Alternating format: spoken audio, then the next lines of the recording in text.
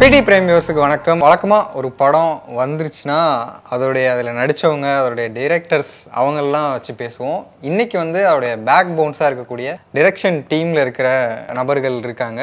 அதுவும் எந்த படத்தோட படக்குழு அப்படின்னா பத்து தலை. ரீசெண்டாக ரிலீஸ் ஆகி சிம்பு சார் நடித்து மிகப்பெரிய சக்ஸஸாக இருக்கிற டீம் அவங்கள நம்ம இன்னைக்கு சந்திக்கிறோம். எல்லாருக்கும் வணக்கம். ஃபஸ்ட்டு வந்து ஒருத்தரும் வந்து உங்களோட பேர் சொல்லிவிட்டு உங்களோட ஒர்க்கையும் சொன்னீங்கன்னா எனக்கு ஹெல்ப்பாக இருக்கும் கேட்குறதுக்கு என் பேர் ஜஸ்வந்த். ஸோ நான் வந்து மோஸ்ட்டாக எடிட் ரிப்போர்ட் எழுதுறேன். அப்புறம் நம்ம செந்தில் நான் சொல்கிற எல்லா வேலையும் செய்வேன். சரவணன் அசோசியேட் டைரக்டர் என் பேர் செந்தில் ஜீவா அசோசியேட்டு நான் காஸ்டியூம் கண்டினியூட்டி பார்த்தேன். அப்புறம் ஆர்டிஸ்ட் இந்த படத்துக்கு பார்த்துருக்கேன். அண்ணா நீங்கள் என் பேர் ஆர்எஸ் ராமகிருஷ்ணன். கோ டைரக்டர் இது இல்லாமல் எனக்கு ரெண்டு பேர் வரல இன்னைக்கு. ஓகே. அவங்க பேர் ஒருத்தர் பேர் வந்து ஆம்பரை கார்த்திக். ஆமாம் இன்னொருத்தர் பேர் பிரவீன். ஸோ அவங்க ரெண்டு பேரும் ஃபுல்லாக ஹார்ட் ஒர்க் பண்ணவங்க. அதனால் படம் ரிலீஸ் ஆனதுக்கப்புறம் இப்போ வந்து பேர் சொன்னோன்னே இவங்கெல்லாம் சிரிக்கிறாங்களே அதுக்கு முன்னாடி எதுவும் அது காரணம் என்ன? ஆமரே அப்படிங்கிற ஒரு அவர் பேர் கார்த்திக். ஆனால் அந்த ஆமரேங்கிறதுக்கு இது- இது வரைக்கும் நான் மீனிங் கேட்டுட்டு இருக்கோம். என்ன அவரால் சொல்ல முடியல. ஏன் இந்த ஆமரேன்னு சொல்லி? அதனால் சிரிச்சிட்டாங்க பசங்கிட்ட பல தடவை கேட்டுக்கிறோம். ஆமரேங்கிற எதுக்காக வச்சிருக்கிற? ஆக்சுவலாக ஒரிஜினல் பேர் கார்த்திக் தான். ஆமரேங்கிற வந்து டைட்டில் இருக்குமே டக்குன்னு ஆமரே கார்த்திக்னு போடுங்கன்ட்டாப்புல. சரி போட்டாச்சு படத்துலேயே ஆமரே கார்த்திக் தான் வரும். ஸோ அதனால் பசங்க சிரிச்சிட்டாங்க. ஸோ இந்த சேரில் உட்காரக்கூடியவர் வர்றதுக்கு வரைக்கும் கொஞ்சம் நம்ம அந்த படம் பற்றி பேசலாம்.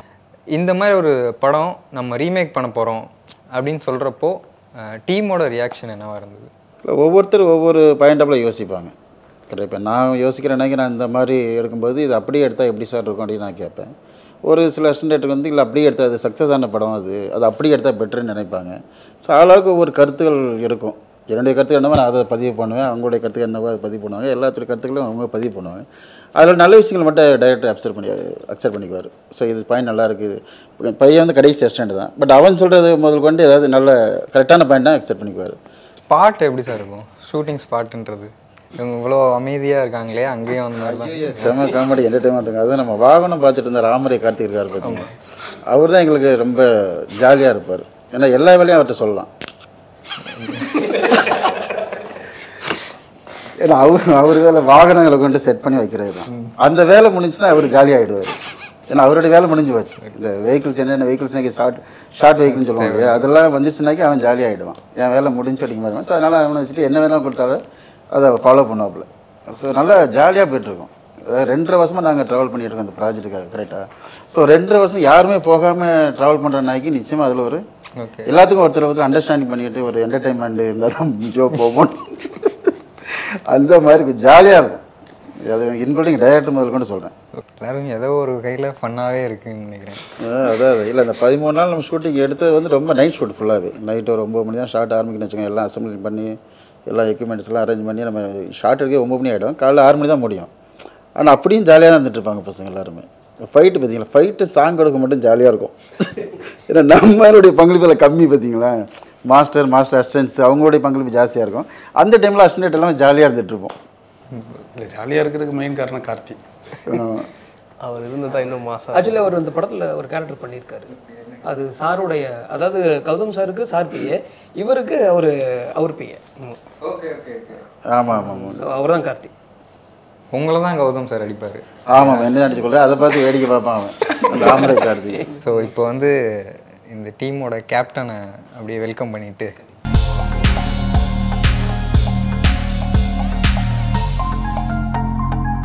எல்லாருமே சொன்னது என்னென்னா எவ்வளோ இது டிலே ஆனாலும் சரி இந்த படம் பிரேக் ஆகி பிரேக் ஆகி எடுத்தாலும் சரி யாருமே போகல அப்படிங்கிறது சொன்னாங்க. ஸோ அந்த அளவுக்கு ஒரு ஒரு ஃபார்ம் எப்படி கொண்டு வர முடிஞ்சது? இல்லை அது அது அவங்களோட இன்வால்மெண்ட் அண்ட் இன்ட்ரெஸ்ட் இது. அதாவது என்னன்னா இந்த படம் வந்து நல்லா வரணும் அப்படின்ட்டு நான் மட்டும் நினைச்சா நல்லா வந்திருக்காது. ஸோ எல்லாருமே டீம்ல வந்து அதே ஸ்பிரிட்டோட இருந்தாங்க. இந்த படத்தை நல்லா வரணும் இது ஜெயிக்க வைக்கணும் அப்படின்றது எல்லாருமே இருந்தாங்க. படம் பார்த்தப்போ திடீர்னு உங்கள் கேரக்டர் வந்தது. ஸோ சார் வந்து நடிக்கிறேன் அப்படின்னு சொன்னது யாரோட கால்? அவன். இவன் தான் நான் நடிக்கிறதுக்கு எனக்கு உண்மையிலுமே இன்ட்ரெஸ்ட் இல்லை. நான் பண்ணணும்னு நினைக்க கூட இல்லை. அந்த கேரக்டர் நீங்கள் தான் அதாவது எப்படின்னா சப்போஸ் பயங்கரமான ஒரு மார்க்கெட்டிங் டெக்னிக் வச்சுருக்காங்க அதாவது என்னன்னா ஒன்று முடி ஒரு நீங்கள் நீங்கள் உங்களை நடிக்க வைக்கணும் இந்த கேரக்டர் முடிவு பண்ணால் நான் வேணும் அப்படின்னு சொல்லிட்டேன்னா எப்படியாவது அவங்ககிட்ட எதையாவது எந்த லெவல் வேணால் போய் சொல்லி அந்த கேரக்டர் உள்ள வந்து நடிக்க வச்சிருவான். ஸோ அதை மாதிரி என்னையே கன்வின்ஸ் பண்ணி என்ன நடிக்க வச்சான் இந்த படத்துல இந்த கேரக்டர் பண்ணீங்கன்னா உங்க வாழ்க்கையே மாறிடும் சார் நான் தான் டைரக்டர் அது வேற என்னையே கன்வின்ஸ் நான் கடைசி நிமிடம் மேக்கப் போடுற வரைக்குமே எனக்கு ஆக்சுவலா வேற யாராவது போடலாம். இந்த கேரக்டர் இல்ல சார் இந்த கேரக்டர் சார் சிஎம்க்கு அது நீங்க தான் சார் பண்ண முடியும். அது நீங்க பண்ணாதான் சார் அது எலிவேட் ஆகும் அந்த கேரக்டர் இல்லைன்னா ஆவே ஆகாது சார் அது சாதாரணமா ஒன்று கேரக்டரா போயிடும் சார் நீங்க பண்ணுங்க பண்ணுங்க கடைசி சரி போ பண்ணுவோம் அப்படின்னு சொல்லிட்டு அப்படியே தான் பண்ண வச்சோம் இது என்ன மட்டும் இல்லை பல பேர் அப்படி தான் நடிக்க வச்சிருக்காங்க. சார் வந்து ஆர்டிஸ்ட்டை நடிக்க சொல்லித்தரது செமையா சூப்பராக நடிப்பாங்க. ஸோ ஒரு ஆர்டிஸ்ட் ஒரு சின்ன கேரக்டர் இருந்தால் கூட அந்த கேரக்டரை எப்படி நடிக்கணும் அப்படின்னு சார் நடிச்சு நல்லா நடிக்கிறது எனக்கு ரொம்ப பிடிக்கும். சாரோட ஆக்டிங் வந்து ரொம்ப பிடிக்கும். ஸோ அதனால் கௌதம் சார் நடிக்கிறதுனால ஸோ சார் நடித்தா ரொம்ப நல்லா இருக்கும் அப்படின்னா அந்த கேரக்டர் ரொம்ப நல்லா இருந்துச்சு. எனக்கு சார் பண்ணதுனால தான் நல்லா இருந்துச்சு அப்படின்னு தோணும் சார் நீங்கள் இதுக்கு முன்னாடி மின்னலையில் ஒரு சின்ன ரோல் பண்ணியிருந்தீங்க. இப்போ வந்து உங்கள் குரு ஒரு ரோல் பண்ணுறாரு அவர் கூடயே நீங்களும் ஒரு ரோல் பண்ணுறீங்கன்ற அந்த இந்த ட்ராவல் பார்க்கும்போது எப்படி இருக்குது இல்லை அது ஒரு இன்ட்ரெஸ்டிங்கான விஷயம் தான் ஆக்சுவலி வந்து மின்னலையிலே வந்து நான் நடிக்கிற ஐடியா இல்லை ஆக்சுவலாக எனக்கு. அங்கே ஆக்சுவலாக அந்த சீனுக்கு வேற ஒருத்தர் நடிக்க வேண்டியது. அவர் சரியாக செய்யாதனால டேரக்டர் வந்து நீ நடுறா அப்படின்னு. நான் அவர் சொல்லி கொடுத்துட்டு இருந்தேன். சொல்லி கொடுத்தா நீ நடுறா அப்படின்ட்டாரு.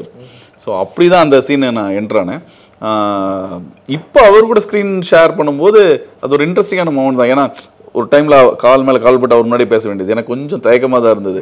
ஏன்னா அவர் முன்னாடி உட்காரதுக்கு நான் அதுக்கு முன்னாடி சார் இந்த கேரக்டர் எப்படி? டே ஐ நோ இட் போட அப்படின்ட்டாரு. இப்போ இந்த படத்தோட டிஸ்கஷன் அப்போவும் சரி இந்தந்த கேரக்டர் இவங்க இவங்க சரியா இருப்பாங்க அப்படின்ற அந்த ப்ராசஸ் ஏன்னா இந்த படம் ஸ்டார்ட் ஆனப்பே வேற ஒரு டேரக்டர் பண்ண வேண்டியதாக இருந்தப்போ மேக்ஸிமம் மேஜர் கேரக்டர் எல்லாமே செட் ஆயிருந்தது. அதுக்கப்புறமான நடந்த ப்ராசஸ் என்ன? எல்லாமே எல்லாம் கம்ப்ளீட்லி இல்ல? எல்லாம் மாத்தியாச்சு. ரீடைன் பண்ணது வந்து அவர் சிங்கான்ற அந்த ஒரு கேரக்டர் மதுகுரு சுவாமி இருக்கார் இல்லையா? அவர் மட்டும்தான். எல்லாருமே அவங்களுடைய சஜஷன் சொல்லுவாங்க. ஒரு ஒரு ஆர்டிஸ்ட் இப்போ சிஸ்டர் கேரக்டர் சிஸ்டர் கேரக்டருக்கு வந்து ஒவ்வொருத்தர் இவர் ஜாஸ்தியாக கொடுப்பாரு சரவணன் இல்ல அட்லீஸ்ட். இந்த சிஸ்டர் கேரக்டருக்கு எவ்வளவு பேரை பார்த்துருப்போம் நம்ம குறைஞ்சது ஏகப்பட்ட பேர். சிம்புக்கு தங்கச்சியான சிம்பு ஹீரோயின் இல்லைண்ணா ஒரே சீன்ல ஹீரோயின் நடிச்சாரு எனக்கு கொண்டுடுங்க பரவாயில்லன்ற. அந்த மாதிரிலாம் கேட்ட ஆர்டிஸ்ட்லாம் உண்டு. என்னடா அநியாயமாக இருக்குன்னு சொல்லிட்டு கடைசி வரைக்கும் சி யாரை வேணாலும் நடிக்க அதுக்காக தங்கச்சியே கிடைக்கல அப்படின்னு அர்த்தம் இல்லை. பட் அந்த ஒரு அந்த கேரக்டரில் அந்த ஏஜிஆர்ன்ற அந்த ஒரு பவர்ஃபுல் மனிதன் அவனுடைய தங்கச்சி அப்படிங்கும்போது அது சில சில ரெலவெண்ட்டான அந்த ஒரு- பவர் பவர்ஃபுல் இருக்கணும் ஒரு ஸ்வீட்னஸ் இருக்கணும் ரெண்டுமே இருக்கணும் அந்த கேரக்டருக்கு அதனால் தேடுறது ரொம்ப சிரமமாக இருந்தது. கடைசியில் ஒத்துக்கிட்ட ஒரே நடிகை அனுசுத்தாரா மட்டும்தான். கௌதம் சார் வந்து அடிக்கடி திருக்குறள் சொல்ற மாதிரி ஒரு போர்ஷன் அந்த ஐடியா யார்? இல்ல அது ஒரு கேரக்டர் இந்த கேரக்டர் இப்படி இருந்தா நல்லா இருக்கும் அப்படின்னு பேசுறது அது. எல்லாருமே ஒரே மாதிரி இல்லாம அவர் ஆரம்பத்தில் வந்து ஓப்பனிங் அரசியல்வாதி இல்லையா? கம்மியாக தான் பேசியிருப்பார் அவர். கம்மியாக தான் பேசி ஸ்டேஜில் வந்து கம்மியாக தான் பேசியிருப்பார். இந்த திருக்குறள் சொல்லிட்டு அதுக்கப்புறம் என்ன இருக்குது திருக்குறள் மிஞ்சின வசனங்கள் என்ன இருக்குது சொல்லுங்க பார்க்கலாம். ரெண்டு லைன் சொன்னா கூட அது திருக்குறள் அடிச்சிக்க முடியாது. எல்லாமே அதில் வந்துரும்ல. அதனால அது சொன்னா நல்லா இருக்கும் அப்படின்னு சொல்லி கேரக்டர் ஃபிக்ஸ் பண்ணி அதாவது கௌதம் சார்னாலே ஒரு ரொம்ப கிளாஸா ஒரு இங்கிலீஷ் பேசுற ஆளு அப்படின்றப்போ சார் நீங்க திருக்குறள் சொல்ல போறீங்க அப்படின்னு சொன்னப்போ திருக்குறள் கிளாஸ் இல்லையா பிரதர் திருக்குறள் கிளாஸ் தான். நான் சொல்றது கௌதம் சார் நம்ம அப்படி இந்த மாதிரியே பார்த்துட்டு இருந்தப்போ அவர் ஒன்று தெரியுமா உங்களுக்கு? அவர் பியூட்டிஃபுல்லாக தமிழ் பேசுவார். சூப்பர். நம்ம இங்கிலீஷ் பேசுறது மட்டும் தான் அவருக்கு தெரியும். அவர் ரொம்ப அழகா தமிழ் பேசுவார் அவர். நிறைய விஷயங்கள் வந்து மஃப்டியோட அடாப்டேஷன் சொல்ற அளவுக்கு நிறைய விஷயங்கள் சேஞ்ச் பண்ணியிருந்தீங்க. ஃபைட் சீனே எடுத்துட்டோம்னாலும் அங்க வேற மாதிரி இருக்கும். அந்த அவர் நின்றுட்டே இருப்பாரு பட் இங்க வந்து ஒரு தேர் இழுக்கிறதுன்னு அதுக்கு பின்னாடி ஒரு சின்னதா ஒரு இது- இது கொடுக்கறதுன்றது. So, இந்த மாதிரி சேஞ்சஸ் பண்றது என் அது வந்து உங்களுக்கு எவ்வளோ சவாலா இருந்துச்சு ஆர் இன்ட்ரெஸ்டிங்கா இருந்துச்சு? இல்ல சவால்னு சொல்றதை விட சிம்பு ஒரு பெரிய ஹீரோ இப்போ ஒரு மாஸ் ஹீரோக்கு வந்து நம்ம ஒரு சீன் பண்ணுறோம் நீங்கள் சொல்கிற அந்த தேர் சீனே வச்சுப்போமே. இப்போ தேர் இழுக்கும்போது ஒரு ஹீரோ அதில் வந்து அந்த வெர்ஷனில் வந்து மஃப்டி வெர்ஷனில் அவர் நடந்து போயிட்டுருப்பார். ஸோ அது நடந்து போயிட்டு இருக்கும்போது இவங்க அட்டாக் பண்ணுவாங்க. அவர் பார்ப்பாரு லுக்ஸ் அண்ட் லுக் அண்ட் ஃபீல்லி அதை கேரி பண்ணாங்க. அவர் சிவராஜ்குமார் சாருக்கு அது பர்ஃபெக்ட் அந்த இதில் அது கரெக்டாக கொண்டு போயிட்டு இருந்தார் பட் எனக்கு என்ன தோணுச்சுன்னா ஒரு மாஸ் ஹீரோ ஒரு மாஸ் ஹீரோ வந்து அவர் சும்மா நின்றுட்டு இருக்கும்போது அதாவது சிம்பு மாதிரி ஒரு ஹீரோ வந்து இன்னொரு கௌதம் கார்த்திக் வந்து அடிக்கிறாருன்னா ஆடியன்ஸ் எப்படி அக்செப்ட் பண்ணுவான் அது எனக்கு ஒரு கொஷினாக இருந்தது. அது எப்படி ஒரு இல்லை சார் நமக்கு அதான் பேசணும் நம்ம. ஸோ எப்படி அது கொஷின் அதை இது- இது பண்ண முடியாது? அதனால் அது பண்ண முடியாது. அப்போ அவருக்கு ஏதோ ஒரு வேலை கொடுக்கணும். அந்த ஹீரோ ஒரு வேலை செய்யணும். அந்த வேலையை அவர் நிறுத்த முடியாத வேலையாக இருக்கணும். ஸோ வேற எந்த வேலை கொடுத்தாலும் அது இல்லை ஒரு கோயிலில் தேர் இழுக்கிறதுனா தேர் ஆரம்பித்து அதை முடிக்கணும். அது முடிக்கலன்னா அது பெரிய அவசகுணம் அப்படின்ட்டு ஒரு நமக்குள்ள ஒரு நம்பிக்கை இருக்குது ஸோ அப்படி ஒரு வேலையை நம்ம ஹீரோக்கு கொடுத்துட்டோம்னா நமக்கு ப்ராப்ளம் இல்லை அப்படின்னு சொல்லிட்டு ஸோ அதுதான் பண்ணோம் பேசணும் டிஆர் சார் என்கிட்ட சொன்னார். சரி படம் பார்த்துட்டு வெளில வந்துட்டு அவர் என்கிட்ட சொன்னது விஷயம் அவர் சொன்னார் நீ டைரக்டருங்கிறது எங்கே என்னன்னா அந்த அவருக்கு தேர்தல் இருக்கிற வேலை கொடுத்துட்டு பார்த்தியா தேர்தலுக்கு வேலை கொடுத்துட்டு அப்போ அதில் ஒரு சண்டை வச்சல அது எனக்கு ரொம்ப பிடிச்சி இப்போ சிம்பு சார் பற்றி சொல்லும்போது அங்கே செட்லேயுமே அந்த கேரக்டராகவே இருந்தார் அப்படின்ற மாதிரி சொல்லிட்டு இருந்தாங்க. பட் எப்படி சார் இருந்துச்சு? ஆக்சுவலாக சிம்பு வர வரைக்கும் எல்லாரும் ஜாலியாக தான் இருப்பாங்க. சிம்பு இல்லாத போர்ஷன்ல அவங்க செம்ம ஜாலியாக இருப்பாங்க. சிம்பு வந்தால் எல்லாருமே சீரியஸ் ஆகிடுவாங்க எல்லாம் சீரியஸாக இருக்கும் ஏன்னா அவரு சீரியஸாக இருப்பார். அந்த கேரக்டராக இருப்பார் அவரு? கேட்ட சீரியஸாக இருப்பார். அதனால எவனாவது ஏதாவது பண்ணானா இது பண்ணும் மற்றபடி மற்ற போர்ஷன்ஸ்லாம் அவர் இல்லாத போர்ஷன்ஸ்லாம் இப்போ ஜிகே எல்லாம் வந்தாருன்னா பயங்கர ஜாலியாக இருப்பாங்க. அதெல்லாம் ஒன்றும் கண்டுக்க மாட்டாங்க. ஜிவிஎம் வந்தாலும் சரி ஜாலியாக இருப்பாங்க. அதெல்லாம் ஜாலியாக இருப்பாங்க. சிம்பு வந்தால் மட்டும் அவங்க ஏன்னா அவர் வந்து அந்த கேரக்டராகவே இருப்பார். முறை பாரு அவர் வந்து அப்படியே பார்ப்பார் ஒரு முறை முறைச்சாருன்னா அதுக்கப்புறம் விளையாடுவார் அதிகமாக இவங்க இவன் திட்டு வாங்கியிருப்பான்னு நினைக்கிறேன் சூழ்கிட்ட என்ன என்ன நடந்துச்சு? சொல்லுங்கள் ரீசன் இல்லாமல் திட்ட மாட்டார். ரொம்ப அன்பாக இருப்பார். ரொம்ப கேர் பண்ணிக்கிறவார் பயங்கரமாக கேர் பண்ணுவார். ஏதாவது ஒன்று சொன்னோன்னால அது வந்து உடனே இது பண்ணிக்கிறாரு மற்றபடி திட்டினால ரீசன் இருக்கும். நாங்கள் தப்பு பண்ணியிருப்போம் அதை தான் திட்டுவார்.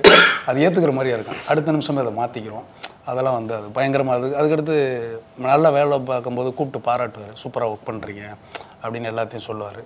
ஸோ அது ரொம்ப ஹாப்பியாக இருந்துச்சு. அவரோட ஒர்க் பண்ணது ரொம்ப சந்தோஷம் படத்தில் இன்னொரு ஹைலைட் வந்து ரஹ்மான் சாரோட ஸ்கோரிங் நீங்கள் உங்கள் ஸ்டார்டிங்லேருந்தே ரஹ்மான் சார் பார்த்துட்டு வரீங்க அவரோட ஒர்க் பண்ணியிருக்கீங்க முத படமே. இந்த படம் நீங்கள் பண்ணணும் அப்படின்னு போய் கேட்டப்போ என்னவா இருந்தது? நான் ஃபோனில் தான் கேட்டேன் சார் கிட்ட. ஓகே பண்ணலாம் அப்படின்னு சொல்லிட்டாரு. ஜஸ்ட் அவ்வளோ யா யா பண்ணலாம் அப்படின்னு சொல்லிட்டாரு.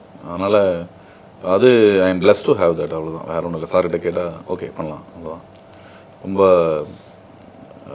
எனக்கு ரொம்பலாம் கேட்க விட மாட்டார் சார் அது அது ஒரு ஒரு சின்ன ஒரு பிளெஸிங் இருக்குது ஏன்னா அவர் கூட இருக்கிற ஒவ்வொரு நிமிஷமே வந்து நான் ஒரு பிளஸ்டாக ஃபீல் பண்ணுவேன். அவரோட அந்த ஆறா நம்மளையும் தொத்திக்கும். அது வந்து நம்மளை வந்து கிளென்ஸ் பண்ணும். சீரியஸாகவே நான் வந்து இது வார்த்தைக்காக சொல்ல அது நான் ஃபீல் பண்ணியிருக்கேன். அதனால தான் நான் சொல்கிறேன் அவர் வந்து எவ்வளோ பாசிட்டிவாக இருப்பார் அப்படின்னா நம்மளால் நினச்சே பார்க்க முடியாத அளவுக்கு பாசிட்டிவாக இருப்பார். இவ்வளோ பாசிட்டிவ் ஒருத்தர் இருக்க முடியுமா ஸோ அதனால அவருக்கு நடக்கிறதும் அப்படியே பாசிட்டிவாக இருக்கும். அந்த வைப் நம்மையும் தொத்திக்கும். நம்ம கொஞ்சம் இம்ப்யூராக இருந்தால் கூட அதை நம்மளை பியூர் பண்ணி அந்த அந்த நிமிஷத்தில் எல்லாமே ஆறா தானே? ஸோ அந்த நிமிஷத்தில் மனிதனோட எண்ணம் தானே? உங்கள் எண்ணம் கிளியராக இருந்ததுன்னா டெலிவரபிளும் கிளியராக இருக்குன்ற மாதிரி தான். அது அவர்கிட்ட இருக்கிற மேஜிக் அது. அண்ட் அந்த அன்னைக்கே வந்து அவர் பறந்து பறந்து வேலை செஞ்சுட்டு இருந்தாருன்னு சொல்லணும். ஏன்னா இந்த ஈவெண்ட் முடிச்சுட்டு உடனே போய் இன்னொரு பாட்டு கம்போஸ் பண்ணி அதெல்லாம் அன்இமேஜினபிள் அதாவது சார் வந்து ஆக்சுவலி இந்த படத்தோட ஃபைனல் மிக்ஸ் எல்லாம் வந்து the credit goes to Raman sir தான் கம்ப்ளீட்டாக அதாவது என்னன்னா ரெண்டு நாள் ரெண்டு நாள் வந்து தூங்கவே இல்லை அவர். தூங்கவே கிடையாது. அதாவது வெளில உட்காந்துருப்போம் அதுவும் என்னென்னா லாஸ்ட் மினிட்ல எங்களுக்கு வந்து ரீல்ஸ் அனுப்பிச்சாகணும். சேம் டைம் ரீல்ஸும் அனுப்பிச்சாகணும். ஏன்னா இல்லைன்னா ஓவர்சீஸ்க்கு இப்போ பிரிண்ட் போகாது. அதே நேரத்தில் அவரே உட்காந்து செக் பண்ணணும். ஸோ ஒவ்வொரு ரீலும் உட்காரணும் அது திருப்பி அப்லோட் ஆகும் அதுக்கெல்லாம் சும்மா அந்த நேரத்தில் உட்காந்துருக்கணும் சும்மா தான் உட்கா வெட்டியாக உட்காந்துருக்கணும் அவர் சும்மா உட்காந்துட்டு இருப்பாரு சும்மா உட்காந்து ஜாலியாக பேசிட்டு இருப்பாரு பேசி முடிச்சுட்டு அதுக்கப்புறம் மறுபடியும் அடுத்த ரீல் போது திருப்பி வந்து மிக்ஸ் பண்ண மிக்ஸ் வருவார் ஏன்னா அவ்வளோ பிஸியான ஆள் அப்படிலாம் சும்மா உட்காந்துட்டு வந்து ஒர்க் பண்ண முடியாது. பட் இதுக்காக பண்ணார் இந்த படத்தில். இப்போ நீங்கள் எல்லாம் சார்கிட்ட ஒரு கொஸ்டின் கேட்கணும் அப்படின்னா என்ன கேட்பீங்க? என்ன கேள்வி கேட்பே நீ?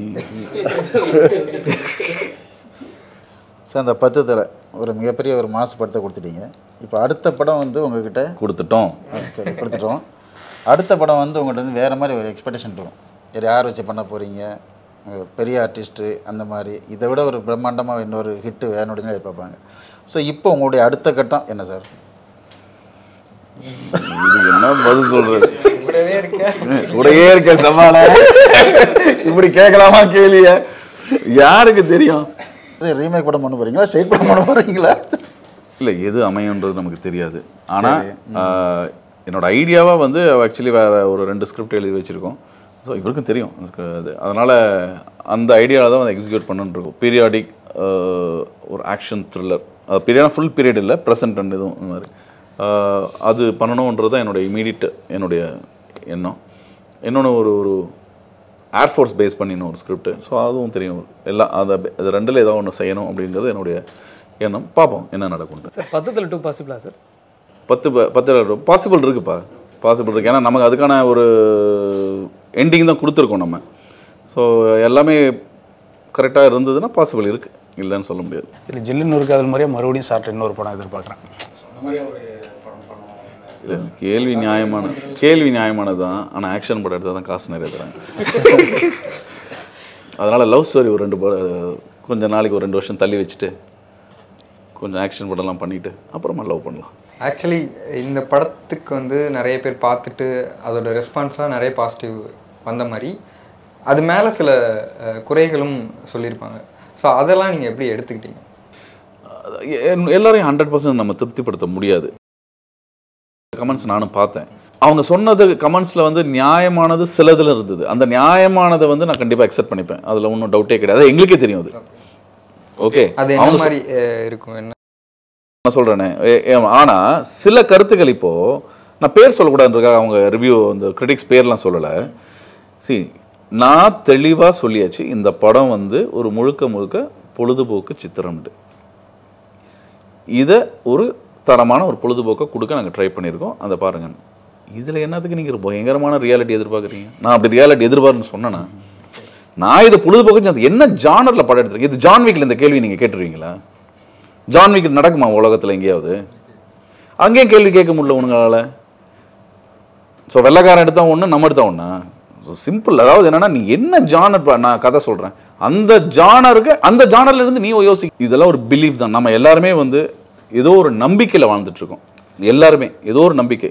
அந்த நம்பிக்கை வந்து பொய்யாகாத வரைக்கும் ஓகே அந்த நம் ஆனால் அந்த நம்பிக்கை தானே தவிர அதுக்காக அது உண்மைன்னு அர்த்தம் கிடையாது. புரியுதா உங்களுக்கு? நம்பிக்கை வேற உண்மை வேற. ரெண்டுக்குமே பெரிய வித்தியாசம் இருக்குது.